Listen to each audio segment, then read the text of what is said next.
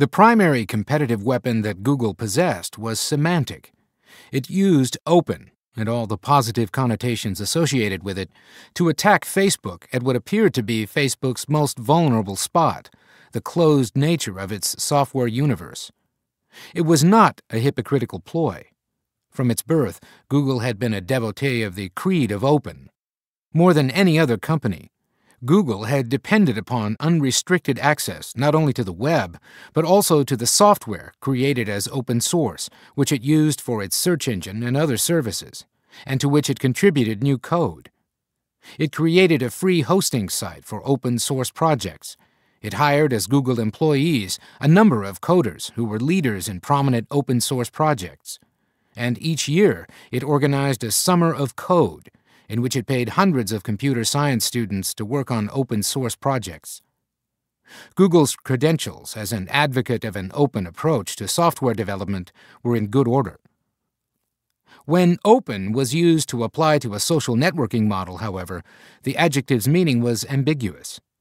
The most fundamental way that the social networking world could be opened would be by endowing all social network sites with interoperability permitting a member's data and web of relationships that were originally collected at one site to move with the user to other sites too, what publisher and commentator Tim O'Reilly calls data mobility. Open Social had a grand sounding name, but in its initial announcement, it spoke of no such ambition. More modestly, it would attempt to provide software developers the standards for writing mini applications designed to work within all social networking sites making life easier for the developers by eliminating the need to customize software for each site. It was not designed to make social network data truly mobile. When Joe Kraus was asked on the eve of his announcement of Open Social why Google had not yet implemented Open Social capabilities on its own web properties to demonstrate the initiative's promise, he readily conceded that its absence was embarrassing. He added that his team was concerned about increased risk of privacy breaches and was moving slowly to ensure the integrity of the company's privacy protections. Trust builds up over a very long time, he said, and can be lost very quickly. A week before Facebook would tell the world about its new advertising system, Kraus predicted that because they're a startup, Facebook would take on privacy risks that a publicly traded company like Google could not accept. He drew a surprising analogy when he offered up YouTube, by then a part of Google, as an example of a startup that early in its history had made a critical bet that an established company would not have made. They decided early on they didn't care about copyright issues. Huge risks, Kraus said. It turned out well for YouTube when it was acquired for $1.65 billion, but it was the exception. For most startups, the assumption of large risk does not turn out so well. The next week, on November 6, 2007, Facebook founder and CEO Mark Zuckerberg ascended a stage in New York and portentously began, Once every hundred years, media changes, and offered Facebook's new advertising system as a once every hundred years media revolution. Unlike the previous century's advertising, based on broadcasting messages, Facebook's was based upon getting into the conversations between people. Facebook's new Beacon program offered advertisers the opportunity to track what Facebook members did on their websites and automatically inform the members' friends what they had purchased. Another part of Facebook's new advertising program would match advertisements to the interests that members disclosed on their profiles. Facebook members were not asked to grant permission for Facebook to send information about their online purchases to their friends, nor were they asked whether they were comfortable having advertisers use their most personal information on their profile to guide advertisers' pitches. Zuckerberg had no sympathy. There is no opting out of advertising. Beacon drew the most immediate attention, and little of it was favorable. Facebook tried to explain that Beacon had been designed for the convenience of its members, who, in Zuckerberg's words, wouldn't have to touch it for it to work. Many users did not want it to work, however. They were upset that their purchases were broadcast to their friends, whether they wanted that or not. The criticism was so intense that the company had to backpedal. over the next few weeks, Beacon's design was changed and changed again. At the time it was introduced, Beacon was activated automatically and reported on the purchases of all members at the 40 participating sites unless the member specifically opted out and asked that his or her purchases at a particular site be excluded. Initially, no one could opt out of all Beacon sites with a single click, but under pressure, Facebook provided an option that allowed members to opt out completely. Then, Beacon became opt in only, ensuring that only those who wished to participate would have their purchases broadcast. Facebook executives were loath to change because they were convinced that consumers would, as one put it, fall in love with Beacon once they became familiar with it. After damage to Facebook's public image was widely commented upon, Zuckerberg publicly apologized for the company's handling of the controversy. But the next month, when 60 Minutes featured Zuckerberg and Facebook, his contrition had disappeared and he was again depicting Beacon as a service that members should appreciate. He said, I actually think that this makes it less commercial. I mean, what would you rather see? A banner ad from Bloomingdale's? Or that one of your friends bought a scarf? Facebook's own sponsors, however, were not as certain as Zuckerberg that this service would be welcomed by Facebook members, and some backed out. Google was saved from committing a blunder identical to that of Facebook because it did not possess the information about who its users' friends were. In Google's early years, when it offered just web search and nothing more, the company was the target of criticism from some privacy advocates for permanently storing information about what users searched for. In retrospect, the alarm was premature, before Google really knew anything much about its users. Searching the web at Google was done anonymously, so in Google's records, search terms were accompanied only by a computer's internet address, such as 172.16.254.1, not by a person's known name. The only circumstances in which a Google user had cause to regret conducting a search were highly unusual such as a 2003 murder case in North Carolina, in which police seized computers at the suspect's house and found that Google searches had been submitted from one of the household's computers for neck, snap, and break, and for rigor mortis and body decomposition. The victim was the suspect's wife, who had been found dead floating in a nearby lake. The jury found the defendant guilty after only two hours of deliberation. In a strange way, the murder case and run of the mill advertising on Google's search pages were similar. They used what was typed into the Google search box as the next best thing to seeing what was actually on the user's mind at the moment. For advertisers, Google offered a way of making a pitch with a precision never before possible. The advertisement was displayed only when the user had indicated an interest in that topic, such as hotels, Maui. The interest might not have been present five minutes before, and it might not be present five minutes later. But at the moment that the search for Hotels Maui was submitted, it was highly likely that the user, whoever she or he was, would be interested in hotels on Maui. That close association between what was being searched for and the user's receptivity to advertising messages that were very closely linked to the search term held true so reliably that advertisers quickly realized that advertising on Google was a very efficient way of reaching prospects.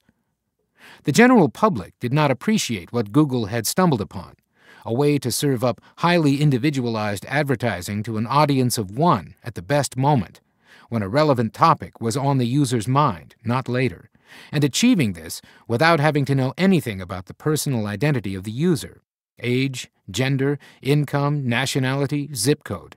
None of it mattered to Google's advertising engine. Google had all it needed to know a search phrase, in order to match up the advertisement with the greatest likelihood of eliciting a response.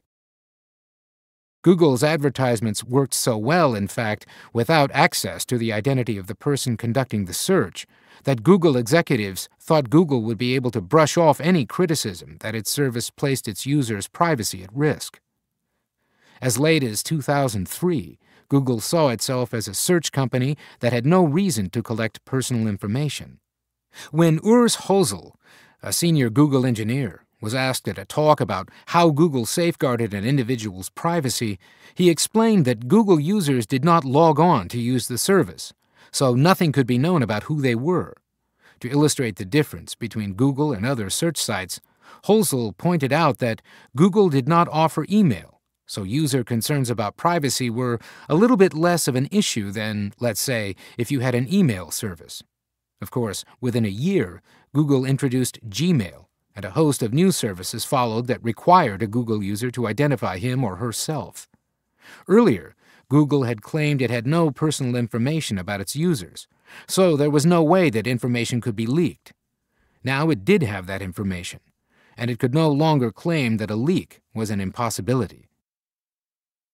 What turned out to cause the most trouble for Google, however, was not a leak, but a deliberate decision by Google managers to apply a technical shortcut to accelerate its attempts to catch up with Facebook. Google suffered a public relations mishap in December 2007, a month after Facebook introduced Beacon, when it added a social network like feature to its Google Talk program, which provided instant messaging and internet based telephone service. Google decided to automatically define anyone who had received a call from a Google Talk user to be, ipso facto, the user's friend. Google now began sending to these recipients items from another service, Google Reader, that were supposed to go only to people whom the user had explicitly designated as personal friends. Critics drew comparisons between this new Google feature and Facebook's Beacon. The Motley Fool wrote, Everyone's following Facebook these days, even down to its missteps. Like Facebook, Google had placed the onus on users to take action to opt out rather than attempt to persuade users to participate through an opt in system. Indeed, Google was so eager to create an instant social network for its users that it had made the foolish assumption that any online conversation, even with a former employer, could be treated as equivalent to induction into one's inner circle of confidants. The lack of readiness that had been apparent at the time of the announcement of Open Social continued to hurt the initiative. Google had released what it called version 0.5, which was far from being sufficiently complete to even be called beta. Developers who tried to build applications with the software discovered it wasn't usable Kraus attempted to defend the open social software as merely a first version. We didn't call it 1.0, we called it 0.5, he said. We want our partners helping us to figure out what else it's missing and continue to develop it. In the meantime, Facebook had put the beacon messiness behind it and moved on to present a new challenge to Google and the Open Social Alliance. It played the open card itself and announced it was opening up the Facebook architecture, offering to license its standards for third party software applications to other social networking sites.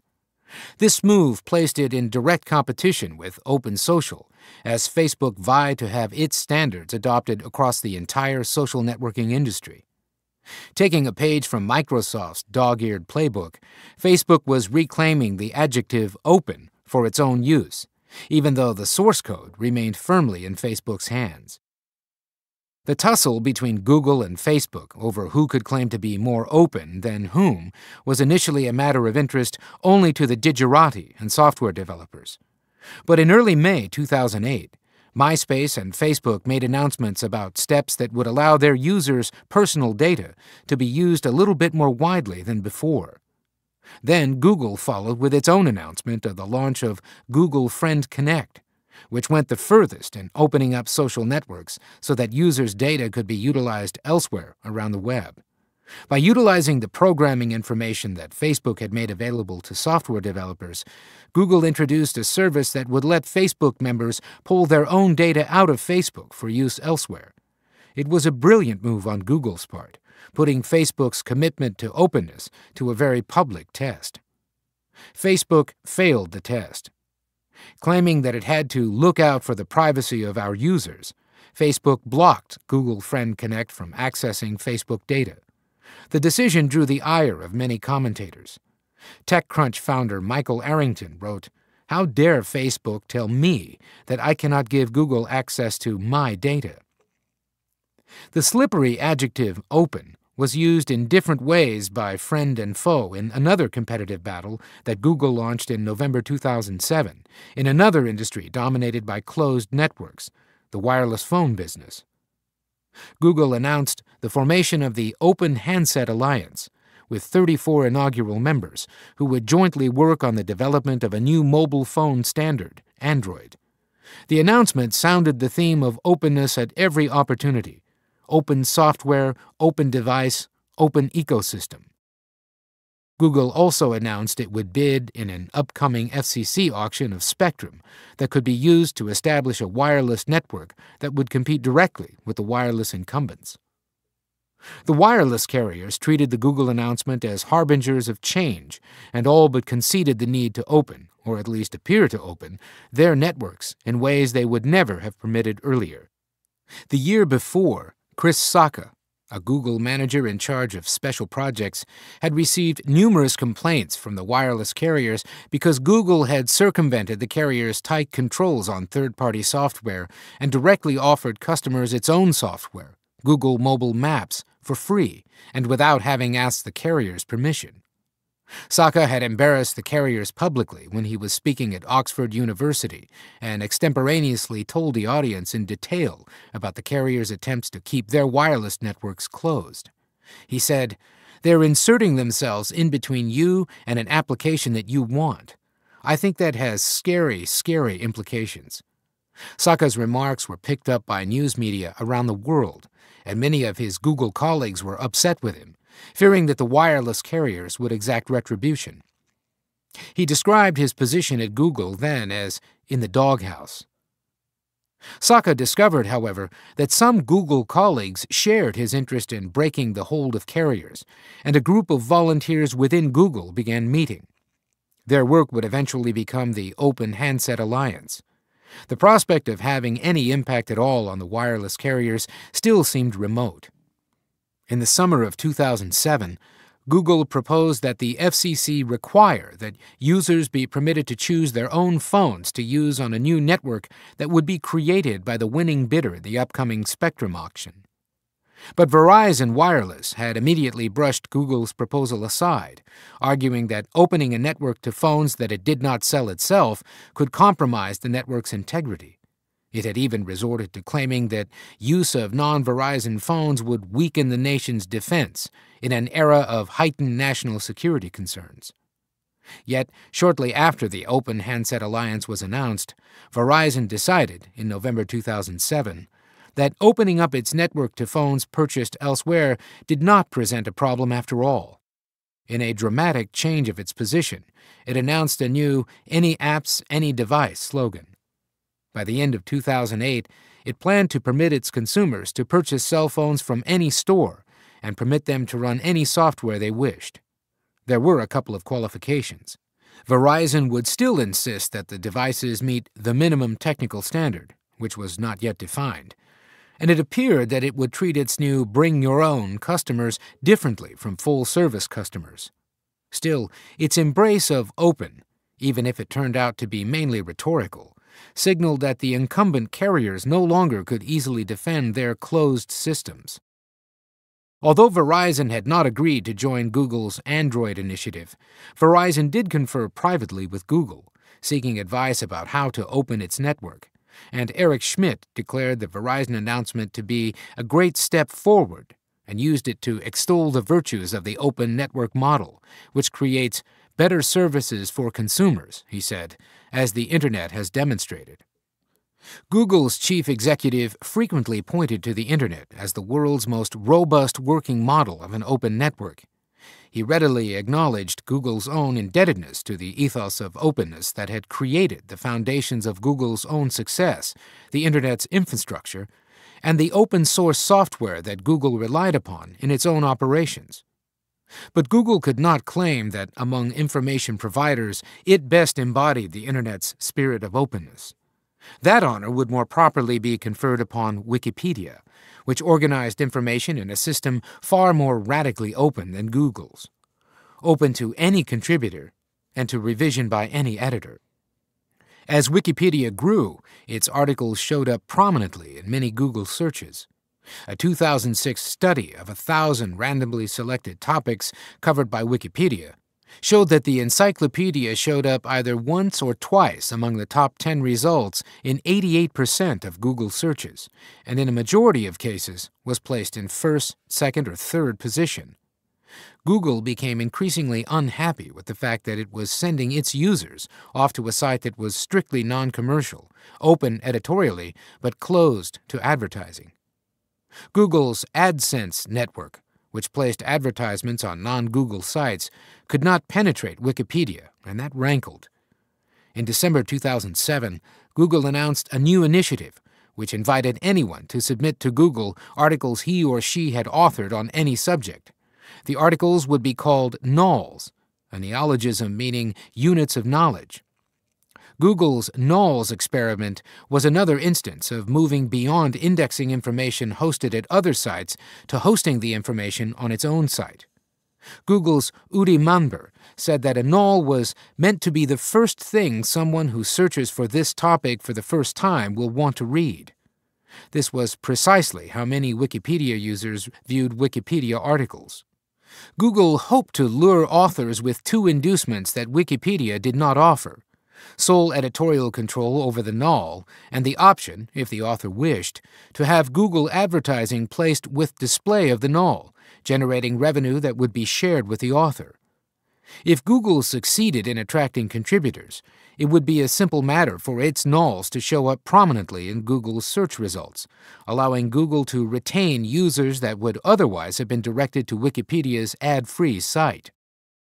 Wikipedia's very openness could turn out to be a great help to Google in building out its collection of knols. Charles Matthews, who identified himself as a Wikipedia administrator and arbitrator, pointed out that anyone could legally copy the content of a Wikipedia page, which was not protected by copyright, paste it into a new Google knol, add a simple credit, then place ads and laugh all the way to the bank. Google's Manber clearly anticipated that Google's knols would likely be perceived negatively by critics as a program that would increase Google's proprietary hold over information. We do not want to build a walled garden of content, he said with an unmistakably defensive tone. Google will not ask for any exclusivity on any of this content and will make that content available to any other search engine. In this one case, yes, Google eschewed exclusivity and could claim a genuinely open policy. But this was not consistently the case, and left the company susceptible to the criticism that it elected to be open only when it had fallen behind a rival in a particular area. Five years earlier, in 2002, Google had begun preparations to digitally scan every book ever printed a project so daunting that no other company had seriously considered attempting it. By 2007, Yahoo and Microsoft had begun similar projects, but Google held an enormous lead. Danny Sullivan, a veteran observer of the search business, noted in November 2007 that Google was not anything resembling open in its book scanning project. Others had formed an open content alliance to make the contents of scanned books available as widely as possible, but Google had refused to join the alliance and instead built an insurmountable walled garden of content, forbidding other search engines from indexing the contents of its book scans. Sullivan challenged Google to show how committed it truly was to the principle of openness by joining the Open Content Alliance. Google seemingly heard the criticism and responded with an announcement in March 2008 that made it appear that the long wait was over. The company made available to outside software developers the programming interfaces that would enable everyone to obtain book info where you need it, when you need it. The Google Book Search team said that it had released the interfaces because we love books, and the company wanted to share this love of books and the tremendous amount of information we've accumulated about them. The tremendous amount of information that Google claimed to be excited to share turned out, however, to be extremely limited. Google offered access to the information on the book's title page, the Library of Congress catalog number, and a thumbnail image of the book. But the company did not permit outside developers to gain access to the actual text of the books that it had extracted from its scans. Dan Cohen, the director of the Center for History and New Media at George Mason University, noted how little Google was providing and expressed his disappointment in a blog post entitled Still Waiting for a Real Google Book Search Programming Interface. For book searches, Google still occupied a position of competitive strength. For social networking, it was in a position of competitive weakness. Sullivan also called Google hypocritical for advocating that Facebook, the network with the most valuable social data about its members, open its data to Open Social. Sullivan asked, why didn't Google open up its index of web pages, which was the largest collection of any search engine, and create an Open Index Alliance, available to competitors, and let the quality of search results be differentiated by the software used to analyze a common base of information? He was not the first to present the proposal. Wikipedia founder Jimmy Wales, among others, had raised it. Sullivan said it was a matter of consistency. If Google's going to push for those with existing advantages to open up through efforts like Open Social and the Open Handset Alliance, an Open Index Alliance just seems like fair play. It was a poke, not a genuine challenge, and brought out the point that even Google was committed to an open approach only selectively, not across the board. No company was purely open, and no company was purely closed. No independent observer of the industry could dispute, however, that Google was more open than its closest rivals, and the computer industry as a whole was far more open than those it was encroaching upon, such as wireless carriers. Google's story was, in part, formed by its efforts to convince others, within the computer industry and without, that open networks were demonstrably superior to closed networks. Consumers have tended to gravitate to systems that provide more choices, and the evolution of technology was pointed in the direction of open.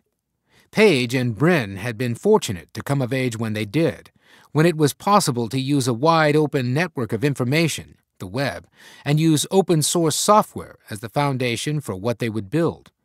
To make full use of the web, they needed a lot of computing power. On this, they did not stint. They assembled a computing infrastructure that effectively permitted Google to move in many directions simultaneously without worrying that they would run out of horsepower. How Google went about creating capacity would turn out to be highly unconventional and strategically important. Instead of treating computer hardware as highly complex works of engineering, delicate mechanisms that, should they fail, would have devastating consequences for Google's operations, and whose manufacture should be left to companies that do nothing but manufacture computers, Google decided to assemble its own machines. This has turned out well. In the course of developing and refining expertise on the hardware side of the business, Google has acquired another competitive advantage over its rivals in web services, providing the company with the ability to expand the range of its products at lower cost and without becoming reliant on outside service providers. It's what makes it possible for Google to think big.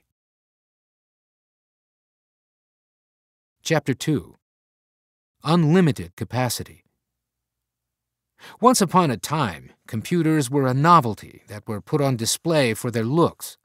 In 1947, when IBM's engineers built a new 120 foot long machine, the Selective Sequence Electronic Calculator, the company understood that a computer could dazzle the public on the basis of its appearance alone.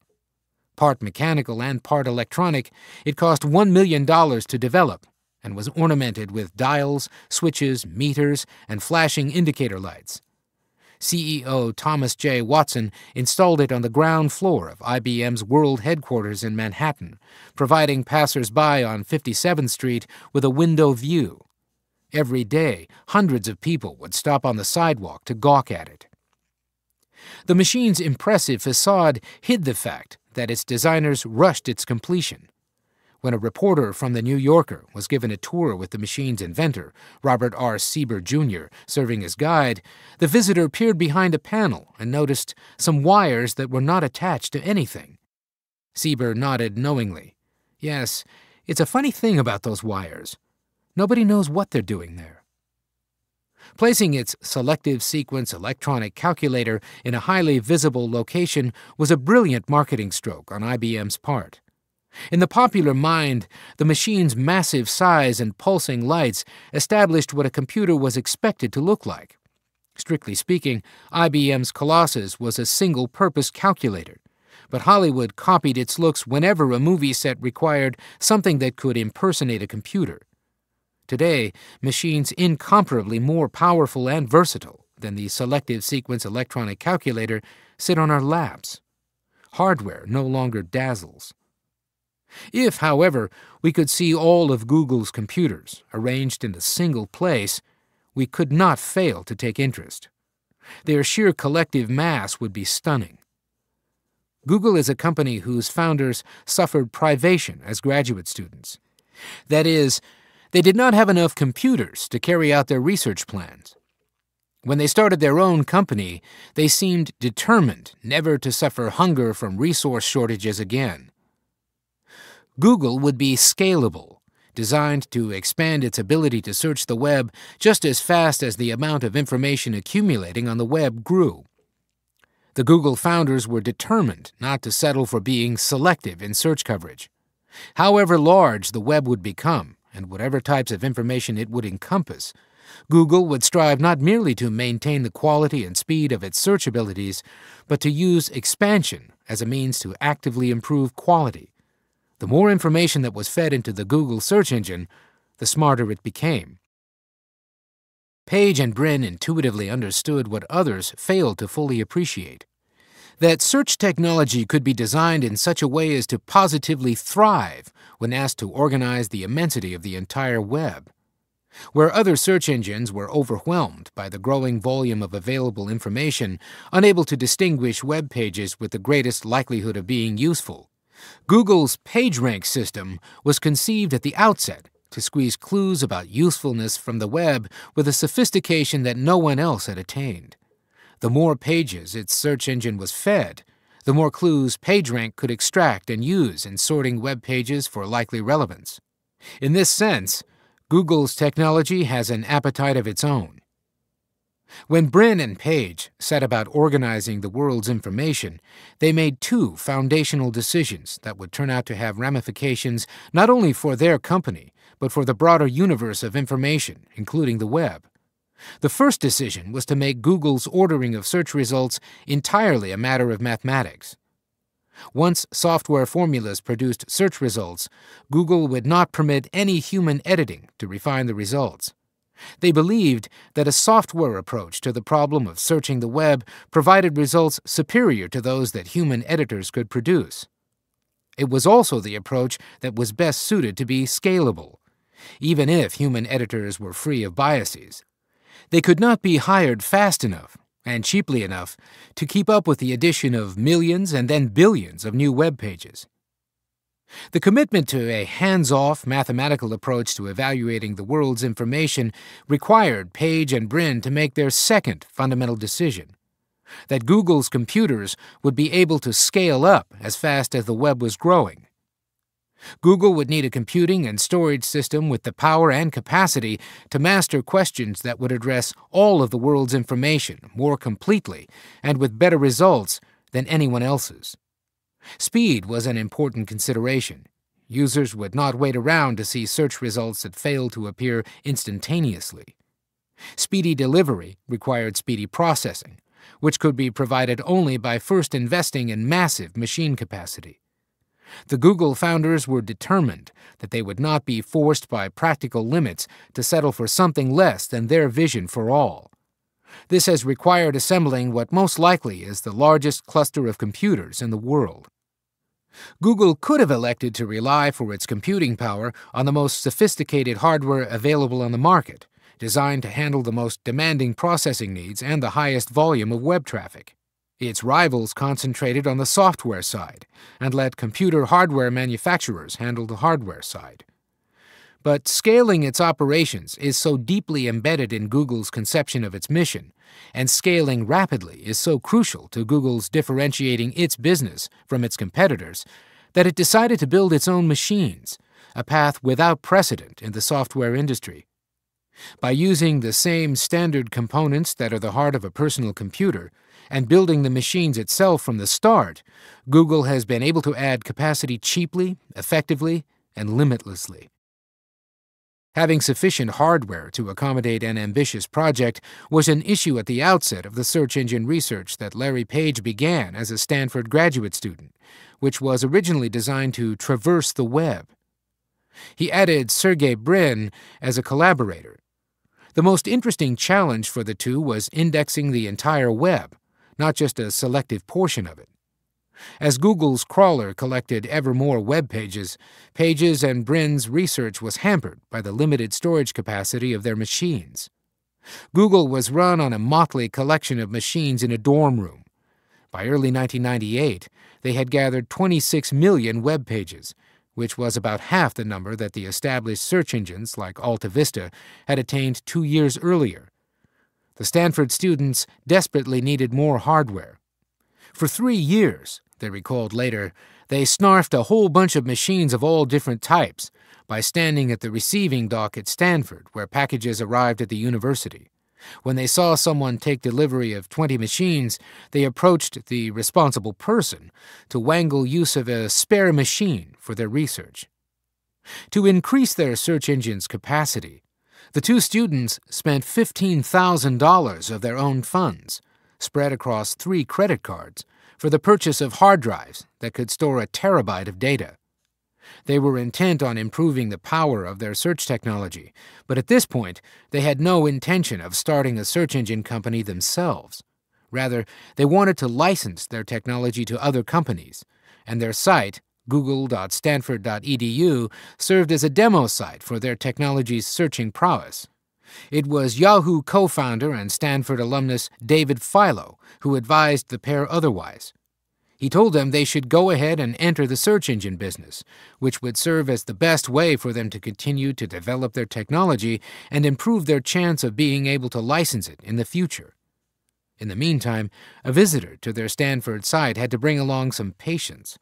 The early Google search engine did not respond quickly.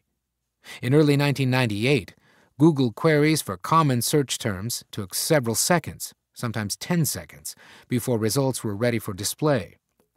Observers of the search engine business at the time regarded Google as a low traffic curiosity. But even receiving only one query a second, or 10,000 a day, it used fully one half of Stanford University's entire internet bandwidth, a fact that brought an end to the university's welcome. For this reason, in 1998, Brin and Page decided to move their operation off campus and accept the advice to formally found a company. Not only would the move relieve the university of carrying their network traffic, it would separate them from the nonprofit world of academy and enable them to raise money from angel investors for more hardware and additional network bandwidth. Though they were venturing into the commercial world, they struck off on a markedly different course from that taken by other young Silicon Valley entrepreneurs at the time, who were preoccupied with business buzzwords like eyeballs and with racing to a quick IPO. Brin and Page showed no interest in eyeballs or taking their company public. They weren't even interested in market share. They approached the business opportunity no differently than they had the research challenge. They were focused on building technology that would scale up as the web grew, without being limited by hardware or software constraints. Mastering the entire web interested them not because it offered the greatest likelihood of future profits, which did not seem to be the case at all in 1998, but because it was an absorbing technical challenge. Computer science, not business, was uppermost in the founders' minds. Having tried as graduate students to pursue their research with limited machine horsepower, the two young men set off to build a company that would invest in computer resources so improvidently that the machines would always be ample for whatever task they could conceive of, no matter how ambitious. The great irony is that their shunning of conventional cost accounting considerations, then and since, has enabled the rapid emergence of one of the most profitable businesses of the modern era. Initially, though, their ambition of scaling up Google's search technology quickly ran into serious problems. Expanding the number of pages included in the Google index was easy enough. Their crawler had, by the end of 1998, brought in about 60 million web pages. But their systems choked when trying to perform the involuted calculations required by PageRank. The crawl would take 7 to 10 days to complete, but constructing the index and calculating PageRanks could take weeks after that, or even longer. A disk error or transient problem in the computer's memory would corrupt the index while it was being built, but would be discovered only later. Then it would have to be rebuilt. As the size of the web page collection grew, the difficulties in creating the index grew exponentially. Once a crawl was completed, calculating page ranks for every page dragged on beyond weeks into months. Performance issues were also becoming painfully manifest at the Google website. Word was spreading that Google's searches produced more useful links than those offered up by other search engines, and Google's traffic increased rapidly from 10,000 queries a day in 1998 to 100,000 a day in 1999. Brin and Page saw, however, that the infrastructure was not scaling up to fulfill their vision. They sought help from more experienced quarters, and in early 1999 met Urs Hölzle, a Stanford trained computer scientist who had received his PhD in 1995 and was on the faculty of the University of California, Santa Barbara. Hölzle spent one day a week at Stanford, where his wife was finishing her graduate program, and Brin and Page invited him to have a look at their systems. Like most computer companies that ran busy websites, Google placed its machines in rented space that was specially designed for computer servers separate from its own offices. The data center provided reliable power with backup systems in case of a disruption, as well as cooling systems that could handle, or at least were supposed to handle, the heat generated by the machines.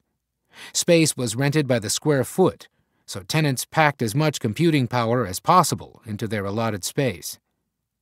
Hölzle was invited to take a look at Google's hardware, which resided in a data center in Santa Clara, about 15 minutes away, run by Exodus Communications, the leading data center operator. Google's tiny space contained four racks, stuffed with boards using PC components, which sat within two small cages. These were enclosures built with chain link fencing that extended from floor to ceiling and were equipped with a locked gate.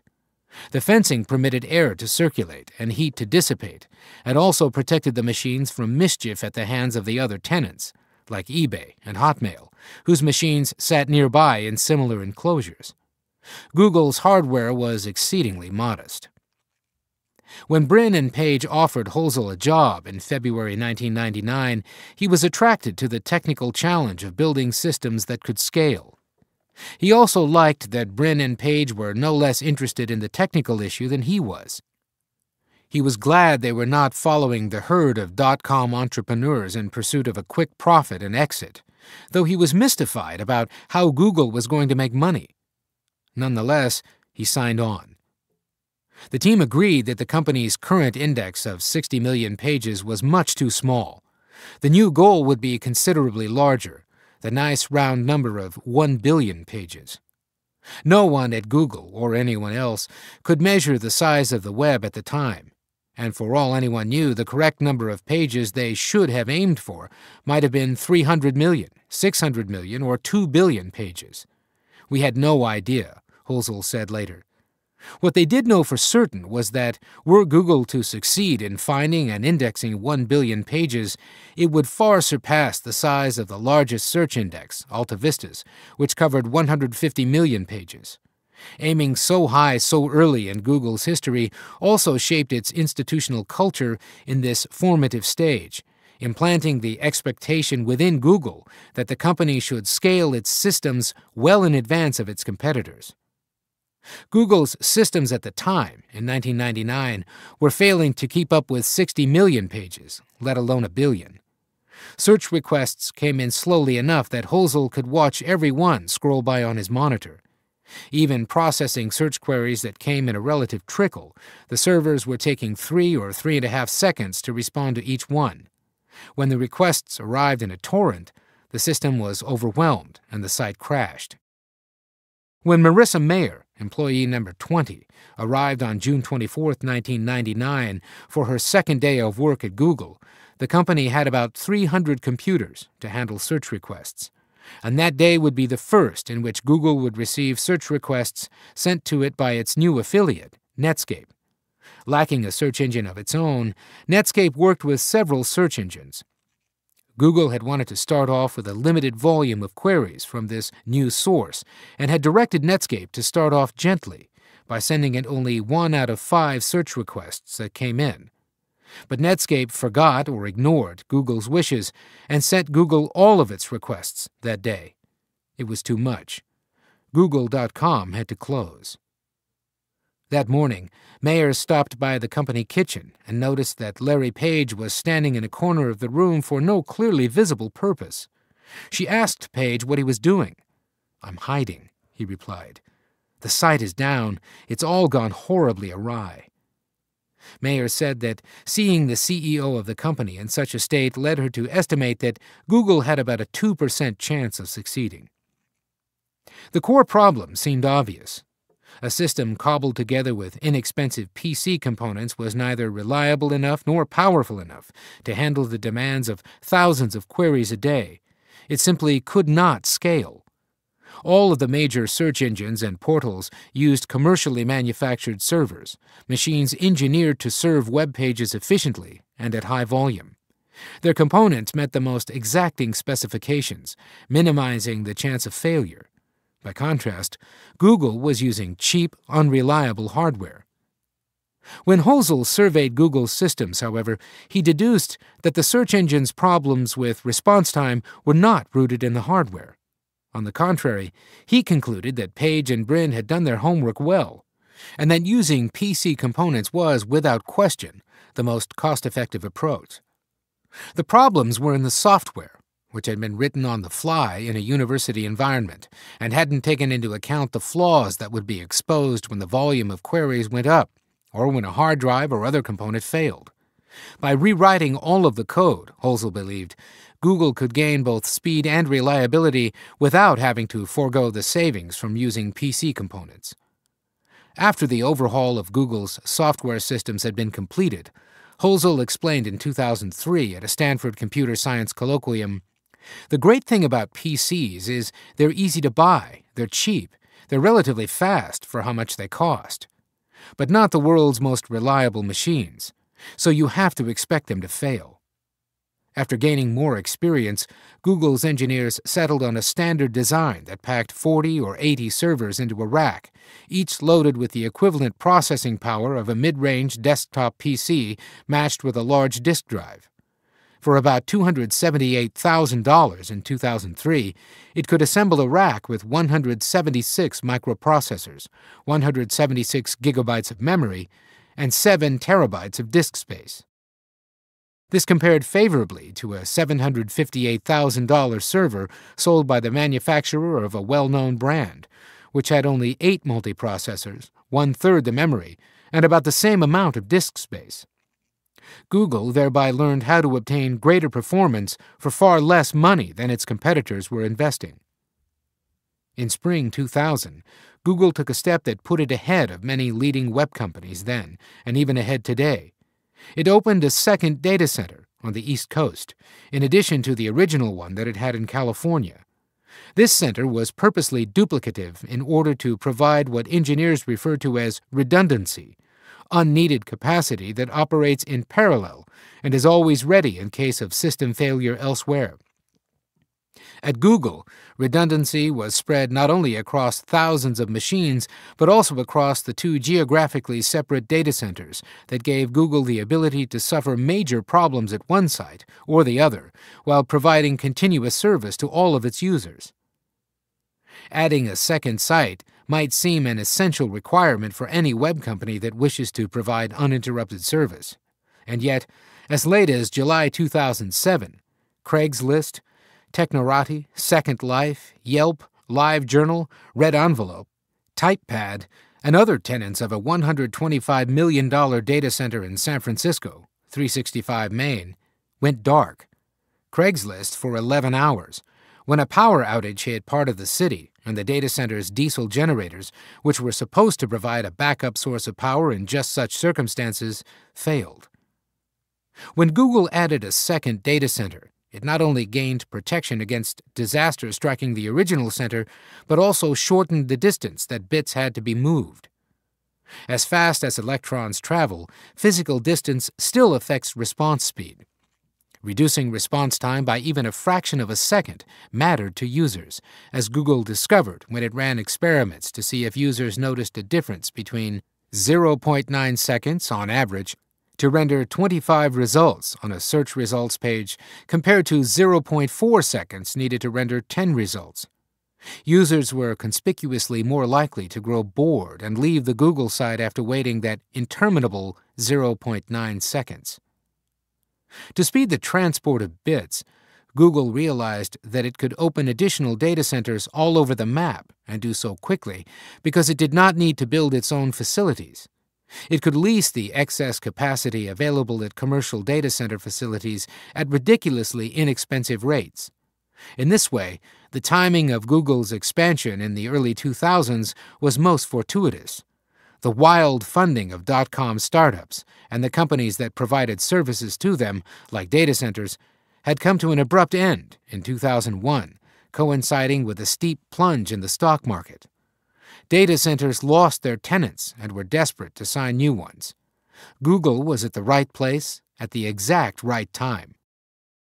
The company began proliferating data centers by renting more cages, then rooms, then floors of data centers, and then entire buildings. Its original landlord, Exodus, went bankrupt. So too did other data center owners from whom Google rented amid this artificial abundance. In 2004, in a talk Eric Schmidt gave at the Stanford Business School, he joked about Google's good fortune. While displaying a picture of a rack of servers that had wheels attached, he asked his audience, Anybody know why the wheels are so important? To roll the racks in? No, to take them out when the data center goes bankrupt. All our data centers have gone bankrupt because we use so much power and we negotiate such low rates. In fact, Google did not usually have to roll its racks out after the data center went bankrupt. Instead, it was able to negotiate better terms with the landlord for renting the space. All the owners asked of Google was rent sufficient to cover their costs. When it and other tenants filled in the space available for lease in 2003 and 2004, Google began to purchase the data centers at what were, in Schmidt's words, fire sale prices. Google also bought up cheap, unused fiber capacity that had been laid by others at the most exuberant point in the giddy years of the late 1990s, using it to connect the centers into a network. This made the scattered clusters of machines work effectively as one very powerful, very capable machine. Other computer service companies, like IBM or EDS, operated more data centers than did Google but no one else had as many machines in as many centers running a unified set of software applications. Google did have to contend, though, with some problems that came with its reliance on facilities that had been built by others in a rush. Cooling was a vital function. When heat was not dissipated adequately, machines failed. Too many machines in too little space for the building's cooling system produced too much heat. Machine rooms that are unbearably hot for computers and humans alike have been a feature of computing since the earliest days. In 1950, the UNIVAC's 5,000 tubes produced enough heat that the engineers that tended it worked in their underwear. Eric Schmidt once recalled how in the 1970s, as a young programmer, he had worked on a mainframe that had to be water cooled and required elaborate plumbing. The problem of heat dispersal has not been solved with the increase in technical sophistication of the computer industry's semiconductors. In fact, the problem in some ways is getting much worse as machines have become ever more powerful. The faster a machine runs, the more energy it consumes, and the more heat it throws off. Energy consumption has increased dramatically also because so many more transistors fit onto a chip. The effect is mitigated by the fact that chips also have shrunk, so power consumption for each chip went up only 400% when performance improved 20 fold. Still, the net increases in consumption remain enormous. As early as 2005, Luiz André Barroso, a principal engineer at Google, predicted that the cost of supplying power for one of Google's servers could soon exceed the purchase price of the server. He imagined the possibility of bizarre business models in which a power company will provide you with free hardware if you sign a long term power contract. Google explored energy saving improvements in the design of the computer's power supply, which required using a more expensive component. The expense was quickly recouped with savings in energy costs. The company also looked at reducing its cooling needs and improving energy efficiency by retrofitting the data centers that it had purchased. But as Google's growing needs began to push against the capacity of its data centers, the company began preparations in 2004 for a new approach that would simultaneously ease pressure on its existing facilities and reduce its energy costs. It would build from scratch its own data center facilities for the first time and place them close to where power is generated. The first data center to be built was at a small town, The Dalles, Oregon, about 85 miles east of Portland along the Columbia River, and, not incidentally, home to the Dalles Dam, a 1.8 gigawatt hydropower station. The area also offered a fiber optic network that was already in place. This move opened the company up to new scrutiny. Up until February 2005, Google had been able to add data center capacity without drawing notice because its leasing contracts and real estate purchases were with private parties. The company took over existing facilities for which zoning approvals had already been obtained. But the Oregon project involved building a new facility, which required approval from local zoning authorities. Even so, Google proceeded by stealth. The necessary blessings were obtained, the crucial arrangements with the Bonneville Power Administration were smoothed. A threat by the Bush administration to privatize Bonneville and raise rates was quietly killed. All of the work to put the deal together was completed, while officials were bound by non disclosure agreements that Google had them sign. The land sale was publicly disclosed only after it was completed in February 2005. Even while construction was underway, the city attorney and the city manager were bound by confidentiality agreements that they had signed at Google's insistence. Purchases and permissions for additional built from scratch data centers were completed in 2007 in Lenoir, North Carolina, and Goose Creek, South Carolina, each center to cost $600 million. Then two more centers were placed in Pryor, Oklahoma, and Council Bluffs, Iowa. In each case, Google moved ahead with construction out of public view. Its stealth, combined with the tax incentives that the company received, created an image on the editorial pages of local newspapers in these areas of a sinister corporate octopus moving soundlessly, wrapping its tentacles around a small, defenseless community. Negotiations between two parties could never be truly fair if one party seemed to the other to have infinite wealth. Tommy Tomlinson, a newspaper columnist for the Charlotte Observer, reasoned that Google was owned by billionaires who could afford the best negotiators in the world. After listing the various tax abatements provided to Google by local and state officials that could cost more than $260 million, he wrote, It appears our local boys got schooled like a church leaguer guarding Michael Jordan. Google attempted to defend its honor and good name in North Carolina in a letter to the editor of the Charlotte Observer. Lloyd Taylor, Google's director of global operations, explained that Google had paid county governments millions of dollars to cover expenses and infrastructure improvements related to the project, and the tax reductions that it had been granted merely put North Carolina on par with other states. Without those concessions to level the playing field, it would have been a better business decision for us to do our expansion elsewhere.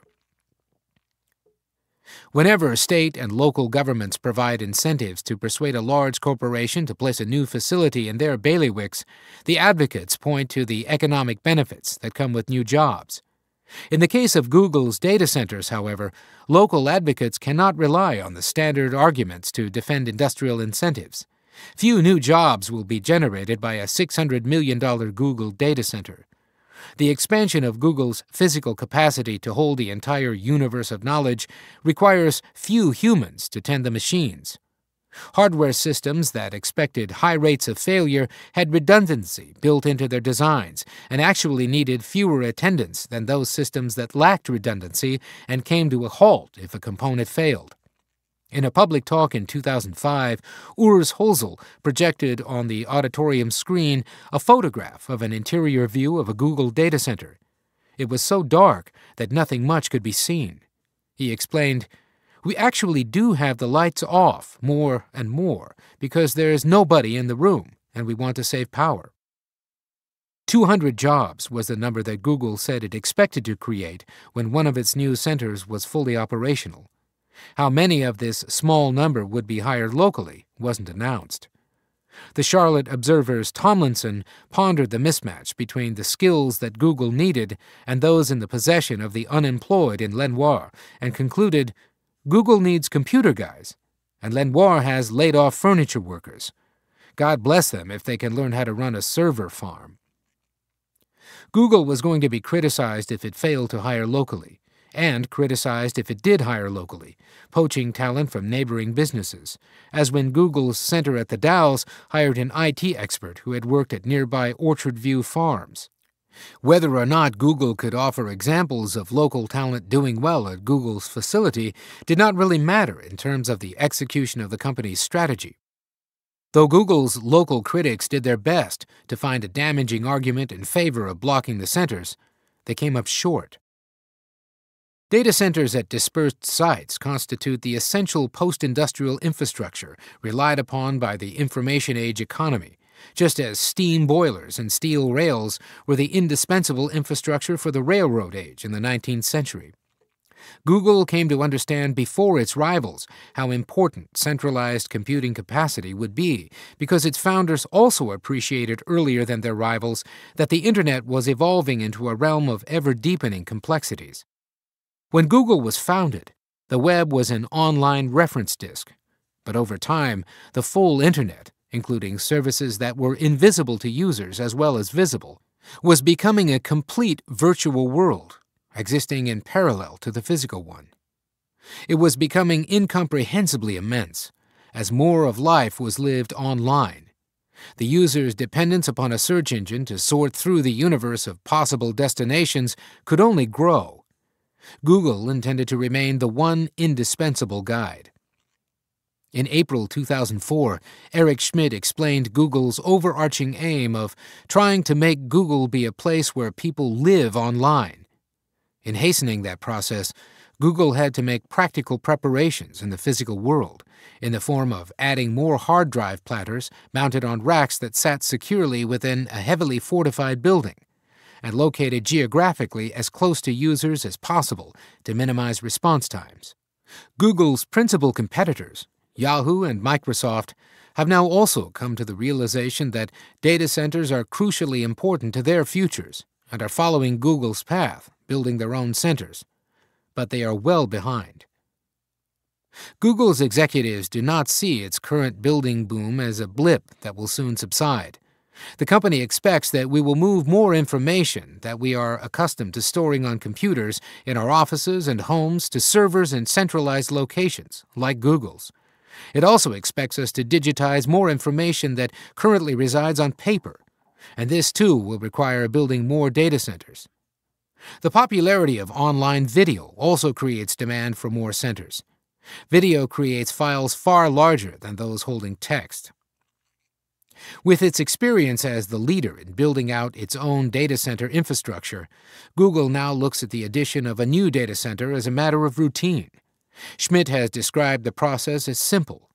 Fill a large building with servers, then plug in to the overhead power line. Repeat as necessary.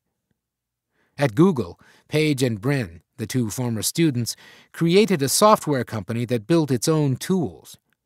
By developing the ability to stamp out data centers cost effectively in bulk, Google has the means to expand its data collection without limits, to scale its business without pausing.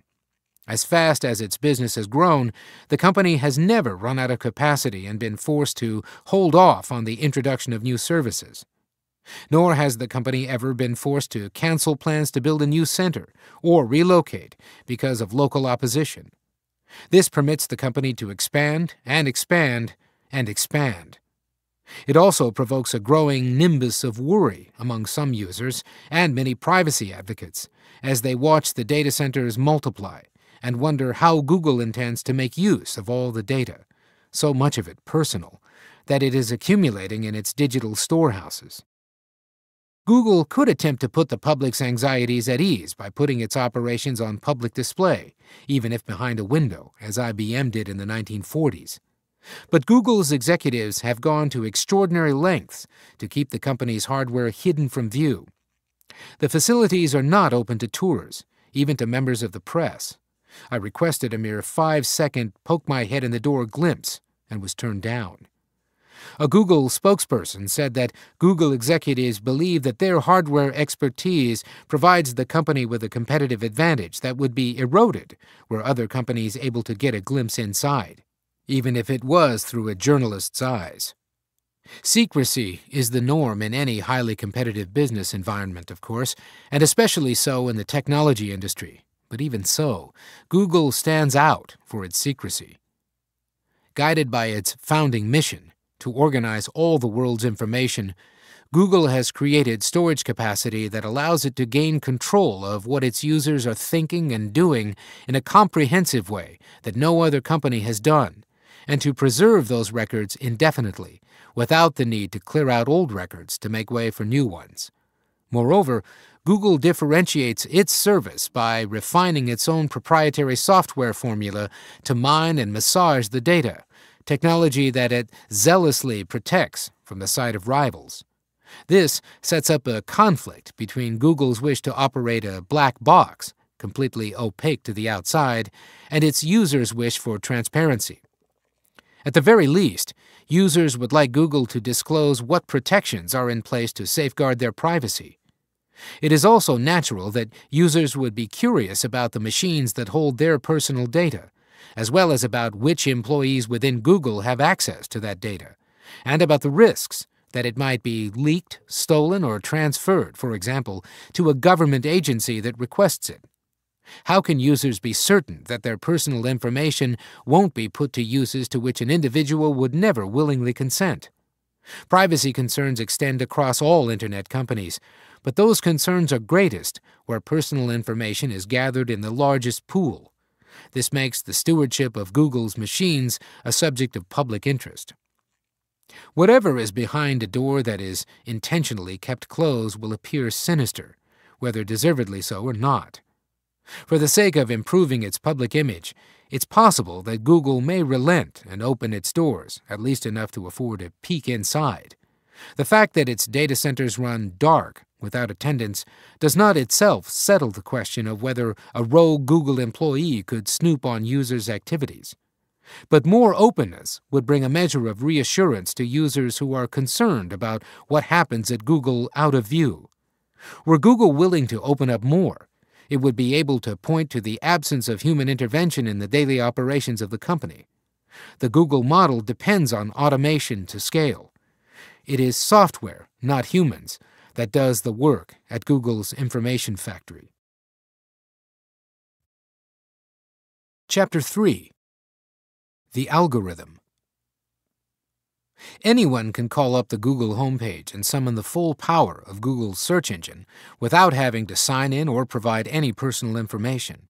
Gender, race, age, education, occupation all remain unknown. The search engine has only the search phrase itself to work with, along with an unhelpful internet address of the machine that sends in the search request. Google's skill at fielding search requests that are submitted anonymously originates in the founder's focus on extracting as much information as possible from the website rather than from the user's side. An algorithm is a set of rules for solving a particular problem. It's the essential building block used in constructing complex computer software. Google's PageRank algorithm, the formula that analyzes the links that point to a web page to discern the relative reputation of one page over another, draws on information that sits on web pages. Google's search engine does not need to know anything about the user other than whatever can be guessed is on the user's mind when the search phrase was typed in. Developing a core strength in searching anonymously would turn out to help Google greatly in other ways that were never anticipated at the time of its beginnings. As the online world has expanded exponentially and the amount of personal information collected online has grown apace, users have watched with queasiness as one company after another, whether accidentally or intentionally, has released information that users regard as personal and private. With each breach, privacy concerns are heightened, and users look for assurances that their personal information will not be disclosed. Fortunately for Google, its search service does not need to know who its users are in order to perform well. Google's impersonal mathematical approach to search also provides it with the ability to serve up advertisements that are tailored to a search, rather than to the person submitting the search request, whose identity would have to be known. In this way, Google is well positioned to compete for online ad dollars with social networking sites like Facebook, which offer advertisers the opportunity to target particular users, but only by selling access to information that users regard as personal and sensitive.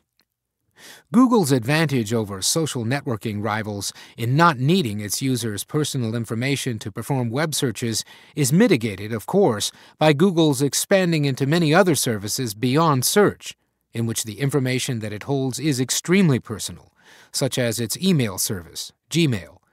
Google is aware that users may worry that its employees could snoop at will in the email of the company's users. This problem is not unique to Google. Employees at Microsoft, Yahoo, and AOL can rummage through users' private email messages too, and these services handle a greater volume of email messages than does Google. So it is a bit unfair for Google to be singled out by users of email who are worried about strangers surreptitiously reading their personal messages. For its part, Google's attempts at reassuring the public have been, at best, only partially persuasive. The company says that only a small number of Google employees are permitted to access email stored by Gmail, which is good. Not so reassuring, however, is the way the company has defined specific categories of users whose email is placed off limits to a Google employee. Any public figure, any employee at a particular company, or any acquaintance. Does this forbid recreational reading of email messages of strangers? Is the stated punishment for violating this policy, termination, severe enough to be an effective deterrent? Has unapproved snooping ever been detected and a Google employee dismissed? Would the user whose email was rifled be informed? As much as Google protests that such concerns are unfounded, breaches at other companies create worries that extend to every company that stores users' personal data. Even though it was Facebook's employees, not Google's, who were reported in 2007 to have looked up user profiles, in one case for the purpose supposedly of examining prospective candidates for dates, or faked email messages, or changed users' profile photos, Google's privacy practices have come under increasing suspicion as well. When Google was founded, Page and Brin did not have to worry about privacy concerns. They were single mindedly devoted to automating the process of judging web pages. Their approach was unlike that of Yahoo, the leader in the first generation of web guides, which relied upon human editors to maintain a hand culled directory of websites. The story of how Google displaced Yahoo and gained the position of preeminence is instructive in the way Google used computer science more adroitly than much larger incumbents. Google began with nothing more than its search engine, which performed the unglamorous work of indexing and analyzing web pages. In 2000, the company struck a deal with Yahoo, then the far larger company, to perform web searches for Yahoo's users. It was not a financial boon for Google, nor did it help it establish its own brand identity. Yahoo's users did not even know that Google was the wholesale supplier of search results, which were presented as if Yahoo had found them. What the deal did provide Google was something that was strategically more important than sales or brand awareness.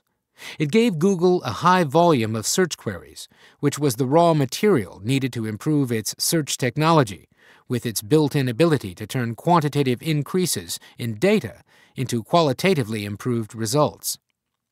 As Page and Brin's technology got smarter as it worked with more information, it was only natural that the two sooner or later would give thought to how they might get their hands on as much raw data about anything and everything as they could. How the different bodies of information would be interconnected was not regarded as the most pressing problem. Collect first, analyze later. If the information was not already in digital form, then Google would spend whatever was required to digitize it. The company's earliest experience with the web had shown the wisdom of gathering more information than anyone else, and letting the size of the collection work in one's favor in many ways, producing a more dense collection of cross references, contributing to the most sophisticated ranking of search results in the world. Google understood, well before its chief rivals, Yahoo and Microsoft, noticed, that an information collection that attempts to be complete expands on a scale far beyond anything that can be curated by human editors. Just as the human mind depends upon neural connections that develop spontaneously, so too digital collections of information will rely on interconnections that are created by software without human agency. Software algorithms are created by humans, but the complexity of the end products far exceeds anything that human creators could produce manually. In building a company, Page and Brin used many different algorithms, but in a philosophical sense, the different formulas were not material. All of Google's algorithms could be said to be pieces of the algorithm, shorthand for the software formulas that the Google founders believed were the best means to solve any given problem. Their confidence in the power of the algorithm led them to adopt a controversial corollary that the results produced by the algorithm should not be edited, adjusted, or touched in any way by human intervention.